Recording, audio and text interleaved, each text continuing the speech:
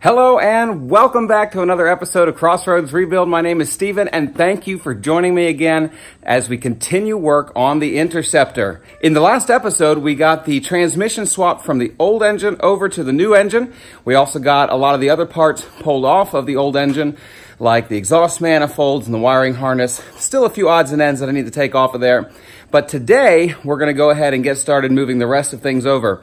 Need to go ahead and get the wiring harness installed on the new engine, and then I need to get the exhaust manifolds added. I'll go ahead and show you what we've got going on here. All right, so as you saw at the end of the last episode, we've gotten the transmission moved over to the new engine. Now, a few of you pointed out to me that I went about doing the transmission swap the wrong way, and that the torque converter should have been added to the transmission before the whole thing was added to the engine. And um, I'm just going to own up my mistakes. I am new to automatic transmissions. I've literally never swapped one before this one. And so I didn't know that. And, um, you know, I'm just going to go ahead and hope that everything's good. Uh, the transmission did go on there without a problem. I mean, we did have a few issues getting it on there at first, trying to get everything to kind of line up with the splines. Uh, but it did eventually go on there without a problem, and uh, we knew we had it on there right when it just kind of popped in there, and there we were. So it's seated on there. Now, I don't have it torqued up yet, so I'm going to do that today. So probably the first thing I'm going to do is go ahead and get uh, the transmission bell housing to, uh, to the block, get all those bolts uh, torqued up. Then over here, I have new exhaust manifolds uh, for uh, both sides. And then um, a lot of the nuts for the manifold studs came off with the studs from the old engine. The new engine has all of its exhaust studs, so I went ahead and just got a new set of uh, exhaust manifold uh, stud nuts, and uh, I'm going to use those as well. So over here on the new engine, I'm going to start by torquing up the transmission bolts.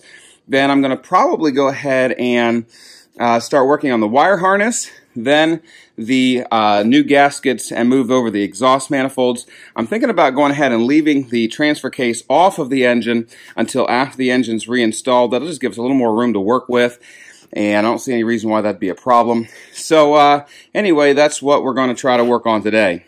So in addition to getting all of this stuff moved over and getting the engine prepped and ready to go into the Interceptor, I'm also going to go ahead and try to get uh, the engine bay of the Interceptor prepped as well. You may remember that I mentioned before that I need to move over some lines, like some AC lines and stuff, get that stuff installed beforehand. I also need to kind of uh, repair the heat shield on the uh, firewall a little bit. It got uh, tweaked a little bit when we were pulling the old engine out. So I'm going to get the engine bay all prepped and ready to go, get the engine all prepped and ready to go so that the next day we're able to come out and just drop the engine in. Today I have a buddy coming who you guys haven't seen before. His name's Curtis. He's going to help me a little bit. And uh, hopefully we can get all this stuff ready so next day we can go ahead and get the engine installed. And uh, I'll probably go ahead and make this video both days, prepping everything up and then also getting it installed so there's a little more um, actual content to this video. So let's go ahead and get started. Wish us luck.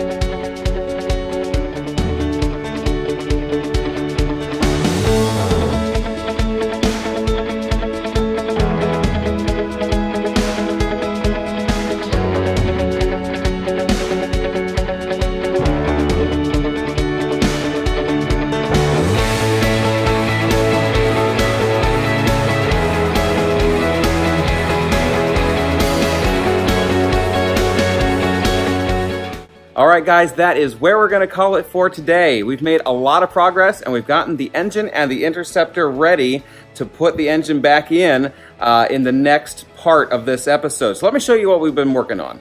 All right, over here with the engine, we have the wiring harness on. We've got uh, some of our vacuum lines and cooling lines moved over. Our manifolds are on with their new um, manifold gaskets and nuts. Uh, we've got um, the transmission all torqued up and ready to go. And um, we've got uh, a few of the other accessories moved over as well. So that engine is now done. We will hang on to it just in case we need any little odds and ends off of it, but otherwise we are done with this engine, and that one is prepped and ready to go back in the Interceptor. Over here in the engine bay, still need to get the uh, spaghetti over there out of the way, but we have replaced this AC line. So it's in there, it's ready to go, got things in there to kind of keep any junk from falling inside. Also went ahead and put some uh, heat insulation there on the firewall. Uh, the heat insulation that was already on there, uh, we left it there, but it was kind of torn when we were taking the engine out. So I put that on there to kind of fix it up. You'll never see it, but I'll feel a little bit better about it being all uh, closed up and not uh, exposed any longer. So the engine bay is now ready for the engine and the engine is now ready for the engine bay. So it'll be just a few seconds for you, but it'll be another day or two for me. We'll get over here and we'll get this engine back into the Interceptor. See you in a second. And we're back. All right, it is another day, and I am ready to get this engine in. Doug's on his way. He'll be here in a little while. I'm going to take care of a couple of odds and ends, make sure I know where everything is. And uh, it's time to go ahead and start getting this engine put back into the Interceptor. Wish us luck. Let's get started.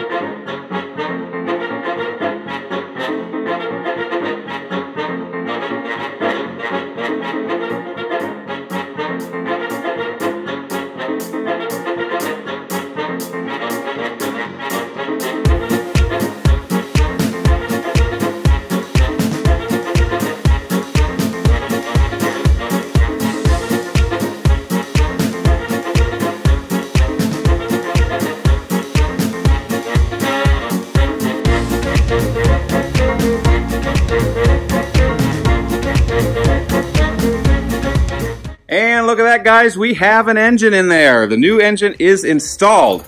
Now, Jace is still over here trying to tighten down one of the uh, transmission mounts over here. They are almost impossible to get to. Uh, but while he takes care of that, let me just show you what we've got going on over here. Uh, we've got, this is the engine mount that actually broke off of the other engine. And we've got that one fully installed. Uh, we've got the transmission mount reinstalled. I was planning to put the alternator and the AC compressor on, and then of course the belt on uh, before we put the engine in, so that it would be, uh, well I just figured it'd be easier while the engine was out, and it would be. But, um, you know, this is a wrecked vehicle and it was missing parts, so I did not have uh, the bolt necessary uh, to install the alternator. So I have that ordered. I should be able to get it tomorrow, and I'll just have to, uh, you know, probably take that wheel off to get in there and get that belt on. We'll figure that out.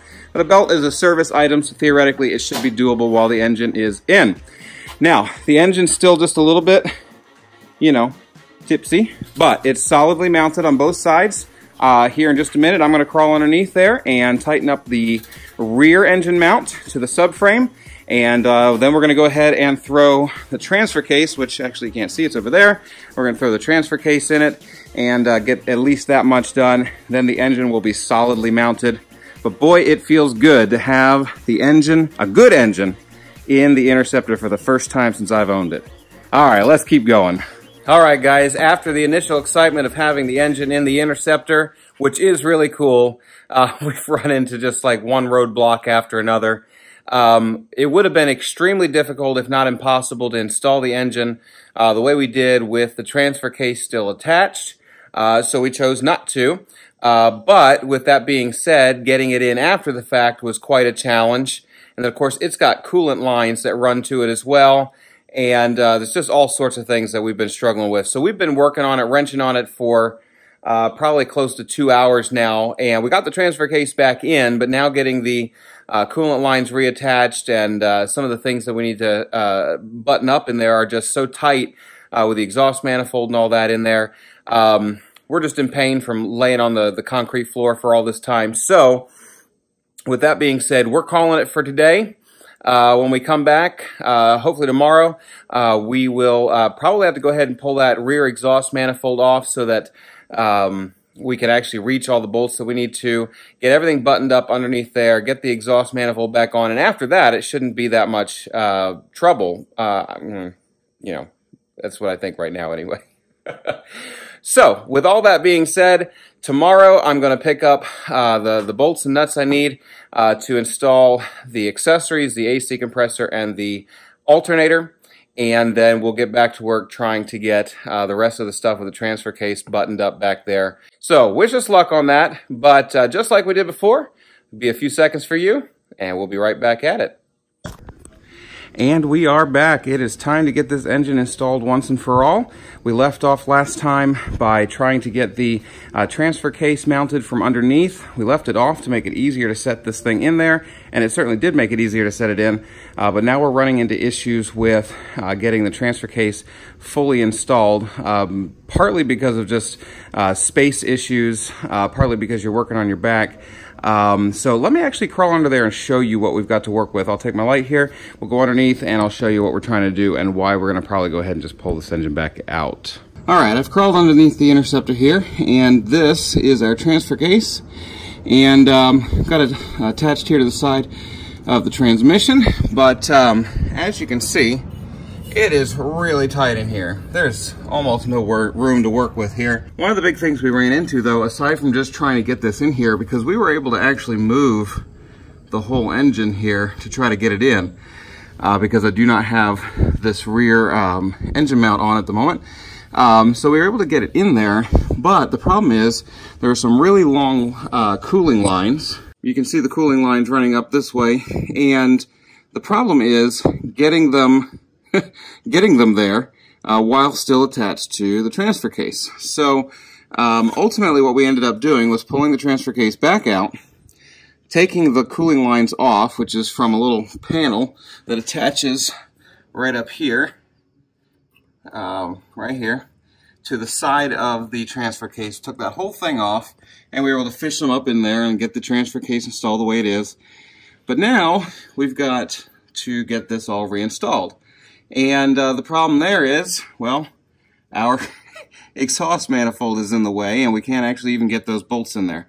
Not to mention there's also a mount that goes up in there and uh, some other odds and ends that need to go in as well. So, uh, for all of these reasons, and you can see just how tight it is up in here, uh, these are those cooling lines that come out the top there and run to the front of the vehicle. Uh, but for all of these reasons, um, it is probably just going to be a whole lot easier to go ahead and just try to pull this thing, the whole motor back out, get the transfer case properly installed out of vehicle, and then uh, once all that's done, get it back in here and uh, finish fully installing the engine. So that's where we're at. Doug will be here in a few minutes and we'll get started on that.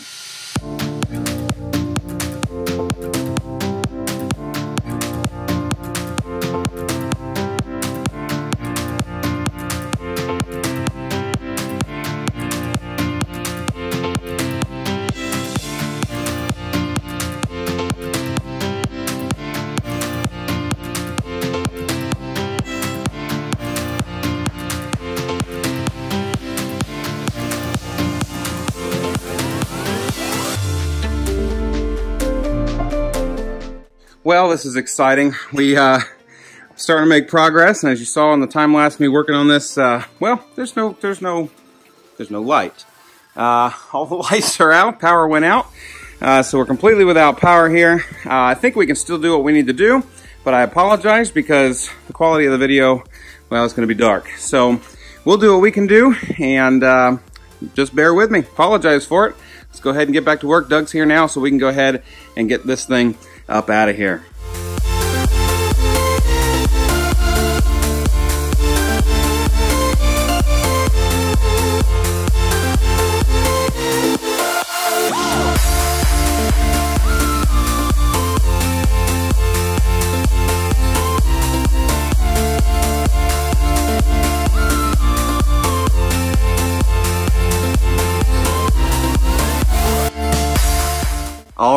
Engine is out in the dark, but we got it out nonetheless. This is really the source of all of our problems right here. Uh, this is where the cooling lines attach and then of course wind their way around the front or the side of the engine to the front. And we got most of these little bolts in, they're little Torx bolts. Um, probably could have gotten that one if we'd worked at it. That one right there, that one was, I mean, you can see the clearance there. There's just no room to work. Um, so we may take this off and do that, or we may just take the transfer case back off. There's also a bracket that goes up underneath there. Uh, but in any case, we now have all the room we need to do what we need to do, get this ready, and then slap it back into the Interceptor. So let's get started.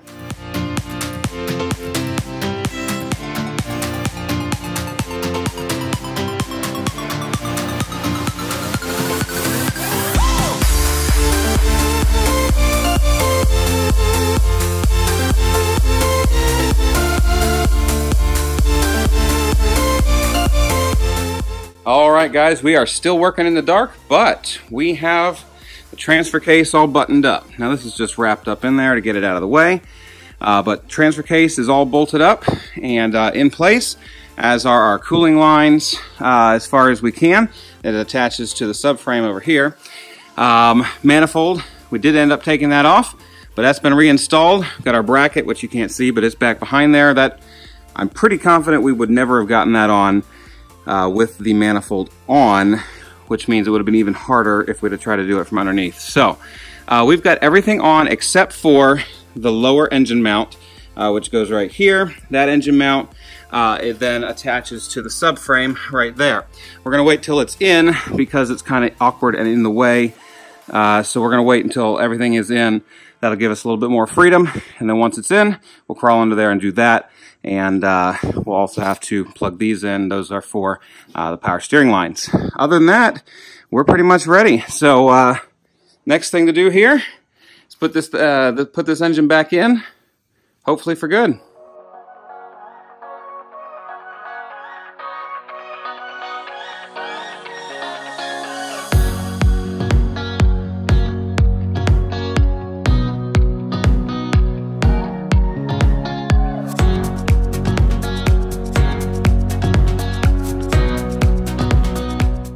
Alrighty guys, we are done for this episode. We have the engine, as you can see over my shoulder there, fully installed. Well, the engine's fully installed. There's still things to hook up. Let me go ahead and show you what we got done today. All right, as you can see, the engine is fully installed, sitting properly. It is now stable in there uh, because we have um, uh, not only the upper engine mounts in, but we also have that rear one as well. Underneath there, uh, we got all of our uh, lines, uh, cooling lines, and our um, electrical uh, connectors to the steering all hooked up. Got the rear drive shaft connected to uh, the transfer case, which is also fully installed. Up here in the front, we got the accessories for the alternator, the air conditioner installed, and the new belt uh, put on as well. Got the throttle body installed over here. Got a few of the lines uh, hooked up over here. So this thing is pretty well set. Now, what do I need to do next time? So on our next episode, I get to start making sense of the electrical. I've got this spaghetti mess over here to figure out. Um, a lot of that is actually for lights and accessories and things that'll go here in the front. Um, there are still a few things to hook up, like over here where we've got the battery that's gonna go there. There's, there's several grounds that need to be hooked up, so on and so forth. I've still got some air conditioning lines to hook up. I've got the one in that had to go in all the way in the back, but I've still got some air conditioning lines that will need to go in. Course, the whole cooling system. Of course, before I can put the cooling system in, I need to put the front of the interceptor back on. So in the next episode, that's what I'll be working on. So thank you for joining me over the last few days as we've worked on this episode, getting the engine installed. I'm excited because this is a major hurdle, a major milestone uh, that we've accomplished. Stay tuned for the next episode because in the next episode, like I said, we'll be working on getting the rest of the electrical hooked up, getting the AC lines, the cooling system, all of that hooked up, and hopefully maybe by the end of the next episode, we'll actually be able to fire this thing up and hear it run with its new engine for the first time. I hope you're as excited as I am, so stay tuned for that next episode. Thank you again for joining me for this episode. If you haven't already done so, go ahead and hit the subscribe button, then the bell so you can be notified each time I upload a new episode. Go ahead and drop a like on this video. That'll really help me out. And go ahead and drop a comment as well and tell me what you'd like to see me do on this Interceptor as we get ready to start buttoning it up. While you're waiting for the next episode, go ahead and also like me and follow on social media. I'm on Instagram, Twitter, and Facebook. You can follow me there and I'll post pictures and updates periodically uh, in between videos so you can stay posted on all the things I'm working on here at Crossroads Rebuild. Thank you so much for watching. We'll see you in the next episode.